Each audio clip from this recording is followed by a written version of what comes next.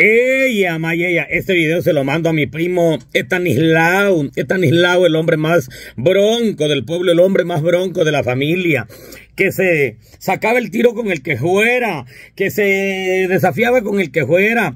Eh, bueno, no le hacía caso ni a su mamá, ni a su papá, ni a sus hermanos, Dios mío. Era el hombre el que teníamos de gallo.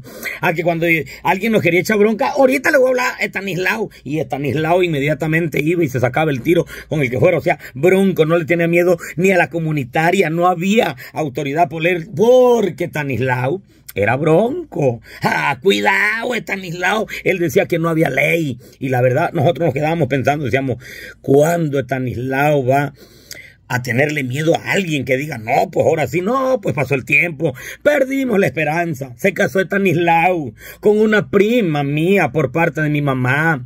Ella tiene su nombre, pero todo mundo la conoce como Piri. O sea, la pirinola porque está chaparrita.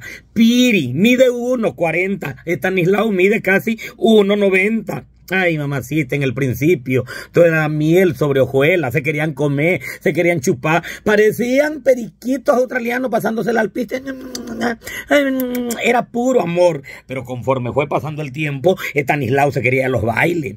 Estanislao lo que más le gusta son los gallos de pelea. Quería irse y ya nomás Piri empezaba. El tiempo fue pasando, Estanislao ya no iba con nosotros a los bailes, ya no disfrutaba con nosotros como, familia, ya dejó de ir a las reuniones, ya no nos veíamos en la cantina cuando era el bueno poniendo la música. Mamacita linda, después me voy dando cuenta en una ocasión que fui a su casa. Padre Celestial, le invitamos una cerveza y para, se pirinola. ¡Ay! ¡Quiero!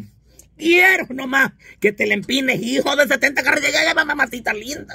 Ni su mamá le dijo así.